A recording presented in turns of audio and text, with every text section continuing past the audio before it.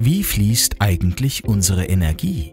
Dies ist keine nationale Angelegenheit. Ganz Europa besitzt ein dicht vermaschtes Stromnetz.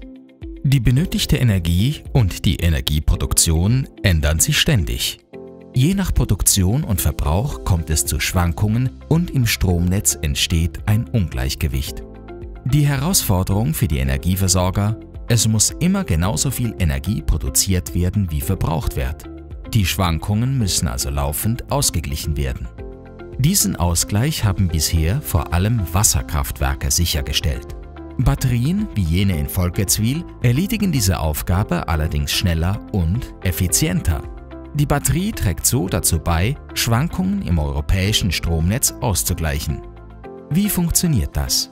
Die Batterie wird aufgeladen, wenn zu viel Energie im Netz vorhanden ist und gibt sie wieder ab, wenn Energie benötigt wird.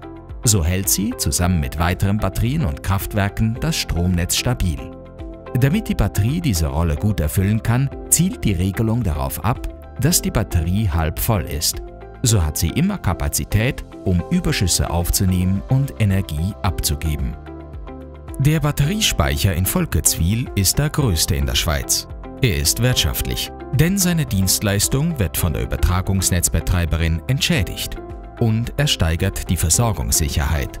Die Batterie trägt dazu bei, dass auch in Zukunft jederzeit Strom aus der Steckdose kommt, wenn wir ihn brauchen. Ein bedeutender Schritt in die Energiezukunft. Weitere Informationen finden Sie unter www.ekz.ch/batterie.